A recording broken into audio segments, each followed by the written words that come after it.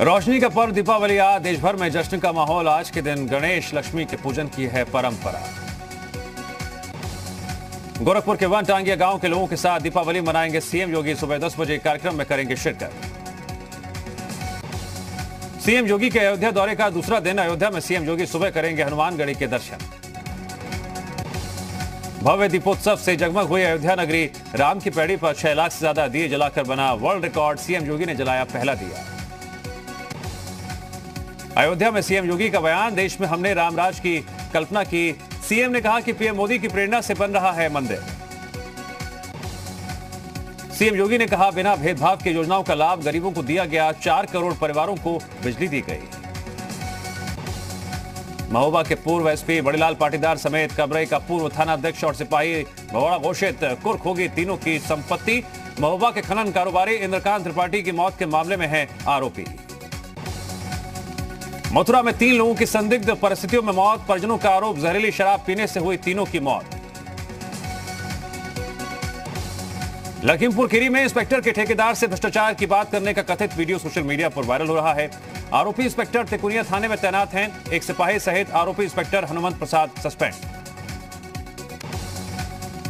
बहराइच में national highway 28 पर हुए सड़क हादसे में पिता और बेटे सहित तीन लोगों की मौत हो गई। हादसा कोतवाली देहात क्षेत्र में गोलवा घाट के पास हुआ। उन्नाव में पत्रकार का शव रेलवे लाइन के किनारे मिलने से हड़का मच गया। परिजनों ने पुलिस पर हत्या का आरोप लगाया है। मृतक पत्रकार की माँ की तहरीर पर कोतवाली थाने में केस दर्ज किया गया। झांसी में देवर और सास पर बहू को पीटने का आरोप लगा है, जिसका वीडियो भी सामने आया। बताया जा रहा है, पारिवारिक कलह के चलते देवर और सास ने मारपीट की। इस हमले में महिला गंभीर रूप से घायल हो गई। लखनऊ में भीषण सड़क हादसे में दो महिलाओं सहित तीन लोगों की मौत हो गई। मामला पीजीआई थाना इलाके का है, जहाँ बस और कार की टक्कर होने से हादसा हुआ है। मिर्जापुर के राजगढ़ ब्लॉक में कई गाँव हैं जहाँ दीपावली का त्यौहार नहीं मनाया जाता। गाँव के लोगों की मान्यता है, दीपावली के दिन ही मोहम्मद गौरी ने छल से पृथ्वीराज चौहान की हत्या कर दी थी। छह गाँव में लोग पृथ्वीराज चौहान की हत्या का शोक मनाते हैं। अमरोहा के बीएसपी नेता फुरकान अहमद के छोटे भाई की एक तस्वीर सोशल मीडिया पर वायरल हो रही है। फ़ोटो में तुरबत खान हाथों में हथियार लिए हुए दिखाई दे रहे हैं। तुरबत के बड़े भाई फुरकान अहमद अमरोहा की नौगावा सदाब सीट से बीएसपी प्रत्याशी थे। मऊ के मधुबन निभाना इलाके में धारदार हथियार से शख्स की हत्या, पुलिस मामले की जाँच में जुटी। मथुरा के गोविंद नगर थाना इलाके में मोबाइल की दुकान में शटर काटकर चोरी, सीसीटीवी कैमरे में कैद हुई घटना। सीतापुर में दिवाली के मौके पर एसपी पहुँचे कुष्ठ आश्रम, कुष्ठ रोगियों के साथ मनाई दिवाली, एसपी ने मिठाई बांटकर दी शुभकामनाएँ। अमरोहा में अदालत आई महिला को अगवा करके गैंगरेप का आरोप, पुलिस ने तीन आरोपियों के खिलाफ मुकदमा दर्ज किया। पीलीभीत में मिशन शक्ति के तहत लड़कियों से छेड़छाड़ का डेमो बनाया गया। थोड़ी देर में ही पुलिस ने मंचलों को पकड़ लिया। बागपत के बिनौली थाना इलाके में युवक की हत्या का पुलिस ने किया खुलासा। तीन आरोपी गिरफ़्तार, पुलिस ने तीन तमंचे भी बरामद किए। बुलंदशहर थाना इलाके में दो पक्षों में जमकर पथराव और फायरिंग। दो युवक घायल, पुलिस ने छह लोगों को हिरासत में लिया। लखीमपुर खीरी के दोहरा कोतवाल इलाके में बैंक बैंकिंग कॉरेस्पॉन्डेंट पॉइंट पर बैंक खाते के ज़रिए धोखाधड़ी करने का आरोप, पुलिस ने तीन आरोपियों को गिरफ़्तार किया। अमरोहा की गजरौला थाना पुलिस ने फॉरेन करेंसी के साथ एक आरोपी को गिरफ़्तार किया है। बरामद फॉरेन करेंसी की भारतीय मूल्य में 15 लाख रुपए कीमत बताई जा रही है।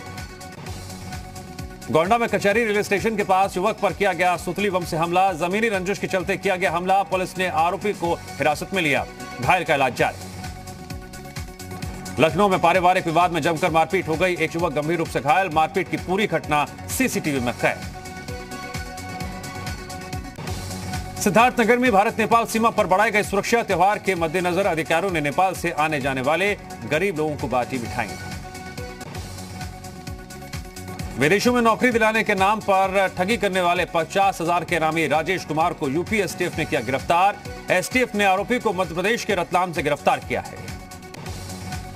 जौनपुर में त्योहारों में सुरक्षा के मद्देनजर प्रशासन अलर्ट। पुलिस ने कई प्रमुख जगहों और बाजारों में चेकिंग अभियान चलाया। देवरिया में स्पोर्ट्स स्टेडियम में सम्मान समारोह का आयोजन। उत्तर प्रदेश ओलंपिक संघ के सचिव आनंदेश्वर पांडे को सम्मानित किया गया। बुलंदशहर में अवैध तरीके से बेचे जा रहे पटाखे बरामद हुए हैं। पुलिस ने आरोपी दुकानदार को हिरासत में लिया। परिजनों ने हिरासत में ले जाने का विरोध किया। झांसी के नवाबाद थाना इलाके में रुपए के लेन देन को लेकर युवक पर हमला। युवक की हालत गंभीर, पुलिस ने एक आरोपी को गिरफ़्तार किया। यूपी में पराली जलाने के मामले में मथुरा और रामपुर दूसरे नंबर पर। रामपुर में 1 अक्टूबर से 9 नवंबर तक पराली जलाने के 135 मामले दर्ज हुए। डीएम ने सभी अधिकारियों को कारण बताओ नोटिस जारी किया।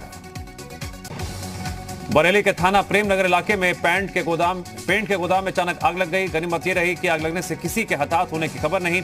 फायर ब्रिगेड की गाड़ी ने आग पर काबू पाया। गाजीपुर में दिव्यांग बच्चों ने दिए बनाकर लगाया स्टॉल। दिव्यांग बच्चों के बनाए हुए सारे दिए बिक गए। गोरखपुर के गगहा थाना इलाके में नाबालिग लड़की की हत्या करके शव को नदी में फेंकने का आरोप। पुलिस अब तक शव बरामद नहीं कर सकी है।